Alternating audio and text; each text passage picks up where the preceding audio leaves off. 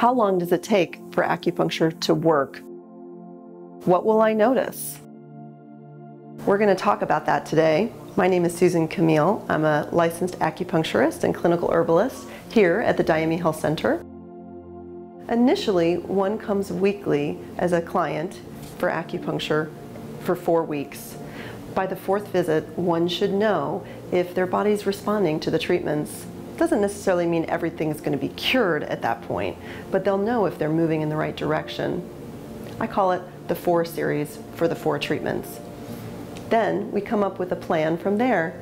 Sometimes people need to continue weekly for a few more weeks, or sometimes they can start spreading it out to every other week, every three weeks, every month, or as needed. Some people even come seasonally for a little seasonal tune-up. About how your sleep has been. I don't know why I've been having it. The first visit is a two-hour visit.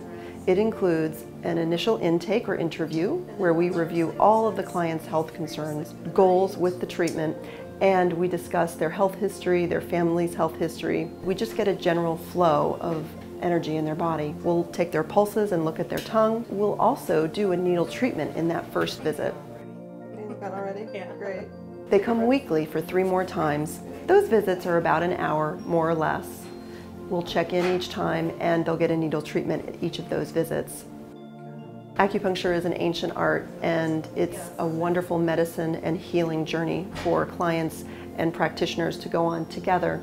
Through that process, they're able to transform their health and feel much more vibrant and, as we like to say, relax their way to health. Most clients feel very relaxed after an acupuncture treatment and through that relaxation, their body can really release tension and start to heal in its own natural, gradual way over time. We look forward to connecting with you. If you have any questions about acupuncture or even clinical custom-made herbal formulas, we're happy to discuss those with you. You can find us at our website, susankamilacupuncture.com, or on Facebook, Susan Kamil Acupuncturist and Herbalist.